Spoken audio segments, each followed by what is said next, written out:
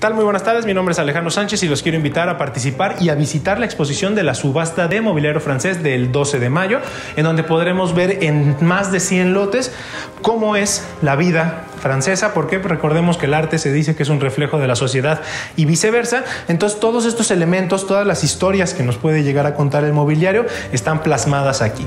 En este caso tenemos un mobiliario, una banca de estilo bretón que también se hace baúl, que tiene todos estos elementos tradicionales y de la vida campirana Seguimos aquí con este mueble también.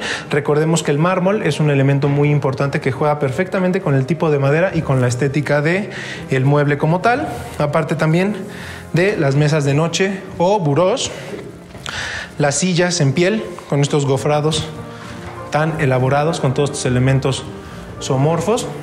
Aparte de que también recordemos que la arquitectura es una reminiscencia muy clara estéticamente con los mascarones, y también estructuralmente. Por ejemplo, las barandillas que también llegan a tener. Recordemos que el roble y el nogal son los, las maderas que caracterizan 100% este tipo de mobiliario.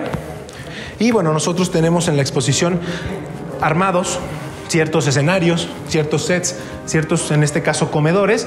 Pero bueno, la ventaja también de estas subastas es que todo va por separado. La mesa es el lote 21, por ejemplo, y estas sillas son el lote 2. Entonces, les comentaba, seguimos estas escenas campiranas, todos estos elementos que podemos observar en este caso de un Enrique II y de los demás estilos que vamos a tener en esta subasta. Como les comento, son 100 lotes aproximadamente. Seguimos por acá con este reloj Grandfather estilo Luis Felipe. Seguimos ya 100% con un barómetro, nada más con su termómetro. Como les reitero, el mármol en este caso rojo juega perfectamente con la elegancia que podría llegar a tener un mueble y los pináculos. Cerramos con este lote, uno de los mejores lotes, este buffet donde tenemos bien y perfectamente representadas las escenas de caza, siendo el venado el cazado justamente y los perros flanqueándolo. Todas estas reminiscencias aparte de las vides y las, las uvas representadas aquí.